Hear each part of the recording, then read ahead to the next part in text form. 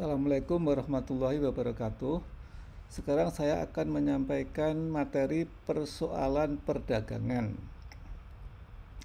Pengertian Perdagangan adalah tatanan kegiatan yang terkait dengan transaksi barang dan atau jasa di dalam negeri dan melampaui batas wilayah negara dengan tujuan pengalian hak atas barang dan atau jasa untuk memperoleh imbalan atau kompensasi.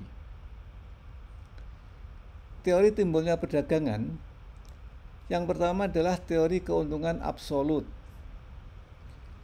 Misalnya ada dua daerah di mana daerah A dan daerah B itu menghasilkan komoditi padi dan kelapa. Untuk daerah A itu 50 unit untuk padi dan 25 unit untuk kelapa. Sedangkan daerah B 25 unit untuk padi, 50 unit untuk kelapa. Nah, prinsip hukum keuntungan absolut mengatakan bahwa suatu negara akan berspesialisasi dalam berproduksi barang di mana negara tersebut mempunyai absolute advance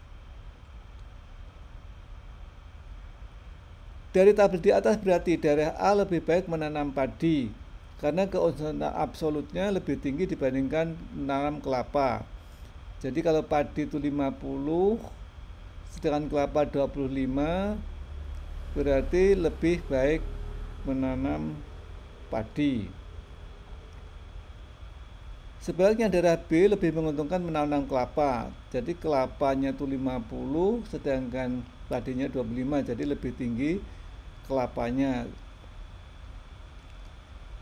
Dengan demikian apabila daerah A perlu kelapa, lebih baik membeli ke daerah B. Sebaliknya, bila daerah B perlu padi, maka lebih baik beli di daerah A. Yang kedua adalah teori keuntungan komparatif atau relatif. Misalnya di daerah A itu komoditi padinya 40 unit, sedangkan kelapa 30 unit, sedangkan daerah B padi 20 unit, kelapa 10 unit.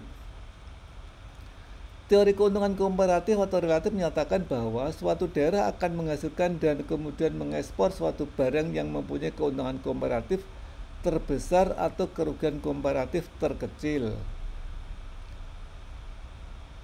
Dari tabel di atas, Daerah A untuk gula mempunyai keuntungan komparatif sebesar 40 dibagi 20 sama dengan 2.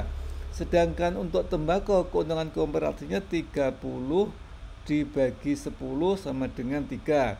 Dengan demikian daerah A akan memproduksi tembakau karena keuntungan komparatifnya lebih besar. Pada daerah B, gula keuntungan komparatifnya 20 dibagi 40 sama dengan 0,5 di 20 dibagi 40 sampai dengan 0,5 sedang untuk tembakau keuntungan komparatifnya adalah 10 dibagi 30 sama dengan sepertiga. Jadi daerah B lebih baik memproduksi gula karena keuntungan komparatifnya lebih besar. Spesialisasi perdagangan. Pengertiannya spesialisasi dalam perdagangan adalah memperdagangkan komoditas tertentu yang jumlah produknya lebih banyak. Faktor-faktor yang mendorong spesialisasi suatu daerah yang pertama tidak adanya sumber-sumber alam yang berarti. Kedua, keuntungan komparatif yang tinggi dalam suatu produk baik dalam persediaan bahan baku maupun dalam permodalan, keterampilan dan kecapakan manusia dan upaya pembangunan lainnya. Tiga, hubungan transport dan komunikasi yang cukup baik dengan daerah-daerah lain sehingga keburukan-keburukan spesialisasi tidak perlu timbul. Empat, industri pertanian yang bersangkutan memungkinkan pembagian kerja yang baik dengan daerah-daerah sekitarnya sehingga membawa keuntungan secara nasional. Diversifikasi perdagangan Pengertiannya, diversifikasi dalam perdagangan adalah memperdagangkan bermacam komoditas untuk berbagai macam keperluan. Faktor yang mendorong diversifikasi suatu daerah Yang pertama, prospek jangka panjang yang kurang menentu dari suatu hasil utama. Dua, tersedianya sumber-sumber alam lain yang mempunyai prospek yang baik dan permintaan yang lebih elastis. Tiga, biaya transport yang tinggi dalam ekspor impor antar daerah. Perdagangan antar pulau.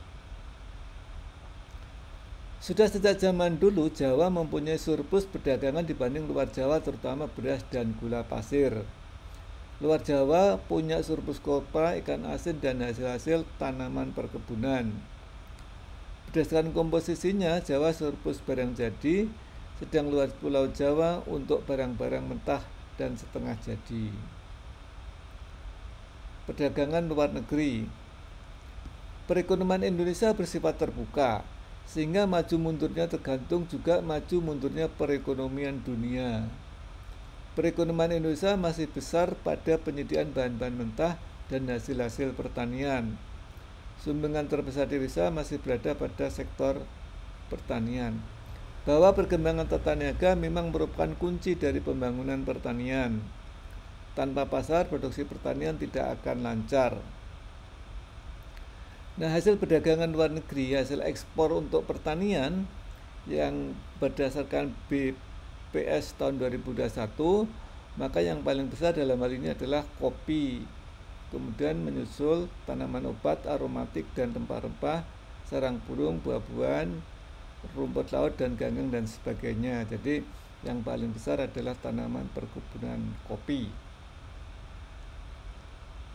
Perjanjian kerjasama internasional Tujuannya adalah mengingat harga-harga hasil pertanian berfluktuasi, maka untuk mengatasi hal ini perlu dibentuk kerjasama atau organisasi yang menangani hal tersebut dengan tujuan antara lain stabilitas harga komoditi, stabilitas penerimaan.